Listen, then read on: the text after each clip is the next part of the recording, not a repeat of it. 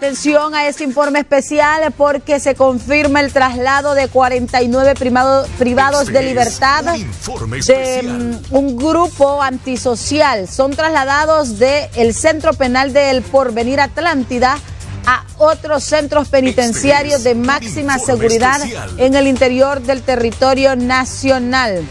En el centro penal de La Ceiba, en el barrio inglés, no hubo traslado, solo de la granja penal de El Porvenir Atlántida a cárceles de máxima seguridad. Los datos preliminares que manejamos a esta hora de la mañana es que se trataría de 49 presos integrantes de la Mara MS-13. 49 reos que serían reubicados de la cárcel de El Porvenir a centro de máxima seguridad. Cuando haya nuevos elementos se los estaremos dando a conocer, pero la operación se mantiene en curso a esta hora de la mañana. Y esto se originó, estos traslados, producto que ayer hubo eh, pleito. Una riña. Una riña entre reos.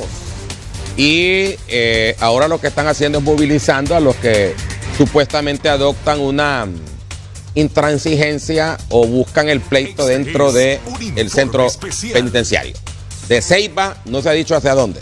Ya estaremos. Del porvenir, del porvenir están siendo trasladados a cárceles de máxima seguridad. ¿Y de Ceiba? En Ceiba no hay traslados hasta esta hora. Pero sí de uno.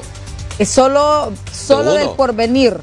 La operación está en pero curso. ¿El porvenir Atlántida o el porvenir Francisco Morazán? El porvenir, la, lo que nos están confirmando las mismas autoridades del porvenir, Atlántida, Por eso le digo. Correcto, pero son 49 del porvenir Atlántida, cárceles de máxima sí, es que dijo porvenir Francisco Morazán. Ah, porvenir Atlántida. Porvenir, Atlántida, correcto. para que no quedemos en donde hubo intento de riña ayer. Vamos,